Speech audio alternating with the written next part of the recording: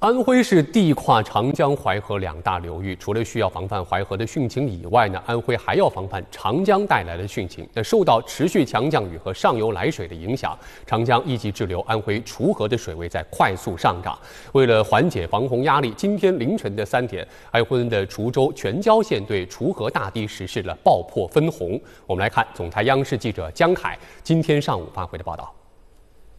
我现在呢，就是在全椒县的这个滁河大堤上。今天凌晨啊，这里一共有两处实施了这个爆破泄洪。在我身后呢，就是其中的一个爆破点。现场大家可以看一下，这一处大堤呢被炸开了一个一百多米的缺口。现在呢，这个滁河水正沿着这个缺口不断的涌向旁边的荒草二围、荒草三围两个蓄洪区。那为了确保安全，昨天在爆破之前，当地也是进行了一个地毯式的巡查，最终呢确认有七户九人。